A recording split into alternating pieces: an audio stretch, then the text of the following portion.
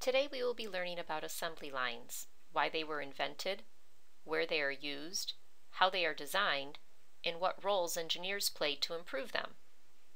The photo on the left depicts an assembly line used to manufacture automobiles in the early 1900s. On the right is a present-day assembly line. As you can see, many changes were made along the way. What is an assembly line? An assembly line is a series of workstations along a connected system that moves materials. Parts are added to the product in an ordered manner to create a finished product. Assembly lines are used for the mass production of products. Industrial engineers are responsible for the design of assembly lines based on product size and the demands of consumers. How does an assembly line work? People are assigned to each station with a specific task to be completed.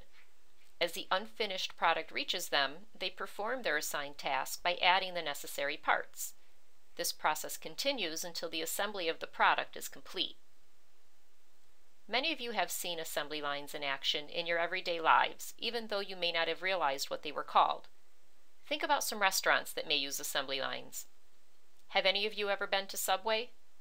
When ordering your sub, you're first asked what type of bread you want. That employee cuts the bread and passes it along the counter to the next employee, who then adds your meats and cheeses and passes it along to the next employee. That person adds your vegetables and passes it along. The last employee at the counter tops your sandwich with dressings and wraps it up. So it all begins with an unfinished product that moves along a connected system of workstations where certain tasks are assigned. In the end, you have a finished product, your sub. Another example where a type of assembly line is used is at Build-A-Bear. You start with an unstuffed animal, move it along to the next station where you choose a heart for it, and fill it with stuffing at the following station. Once it's stuffed, you sew it up and bring it to the bathing station. After you've brushed and bathed it, you choose an outfit for your new animal, and then approach the final station where you make a birth certificate for it. Again, it starts with an unfinished product, moves along from station to station until a finished product is complete at the end. The first idea of an assembly line was introduced in the 1890s by Ransom E. Olds. He used it to mass produce Oldsmobile cars, which are no longer made. In 1909, it took 12 and a half hours to produce the Ford Model T car. This is called cycle time, the amount of time it takes to complete one product from start to finish on an assembly line. In 1913, Henry Ford significantly improved the assembly line by adding a conveyor system to it. By doing so, he was able to reduce the cycle time to 1.5 hours. Improvements continued, and in 1927, a Model T was produced every 24 seconds using multiple assembly lines. This is called throughput, the rate at which finished products come off a line. There are many ways the product is moved from station to station on an assembly line. Products can be moved using human power, as was done in the very first assembly line created by Ransom E. Olds. Conveyor belts, like at checkout counters at grocery stores, are often used, as Henry Ford introduced in the early 1900s. And if products are too big or too heavy, forklifts are used to move them, as the one shown in the picture to the right of the screen. There are two types of assembly lines, dry and wet. On a dry line, no partially completed products appear at each station at the beginning of a run. As you can see from the picture, the belt is empty. So when workers get to their stations, they must wait for products to arrive from the stations before them in order to begin their tasks. On a wet assembly line, partially finished products are already at each station when workers arrive. There is no wait time for them at the beginning of their shifts, they can begin their tasks as soon as they get there. Wet assembly lines are used at most manufacturing companies today. You are about to watch a video clip of an assembly line from an old TV show called I Love Lucy. Pay attention to things that are going wrong on the line and think about what might be done to improve it. What are you doing up here? I thought you were downstairs boxing chocolates. Oh, they kicked me out of there fast. Why? I kept pinching them to see what kind they were. this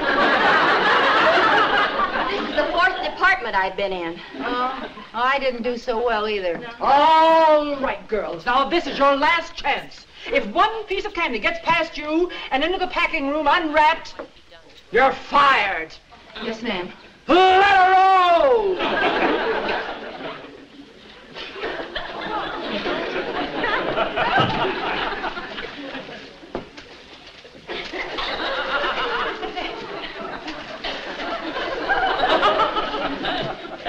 Oh, this is easier. Yeah, we can handle this okay.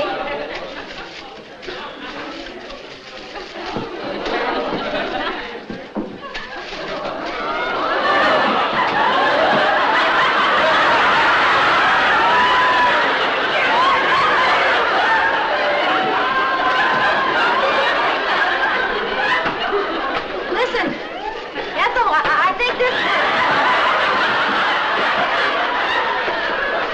I think we're fighting a losing game.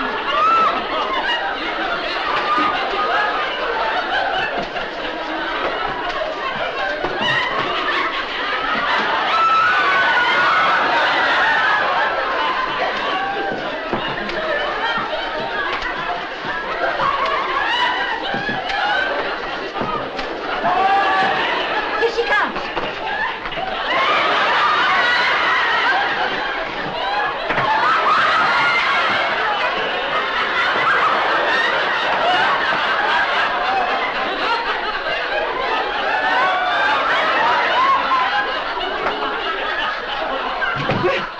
Fine, you're doing splendidly. Speed it up a little! The task at this station of the assembly line was to wrap the chocolates as they came through the line. The chocolates were coming in at a much faster pace than Lucy and Ethel could keep up with. Because of that, some chocolates were passing by unwrapped, and even the ones they wrapped weren't done so in an effective manner. One way to improve this line would be to slow down the conveyor belt to allow more time for wrapping the chocolates. Another option may be to add another worker at the station to give Lucy and Ethel a hand at keeping up. When designed and utilized correctly, assembly lines are beneficial for manufacturing companies. Why do you think so?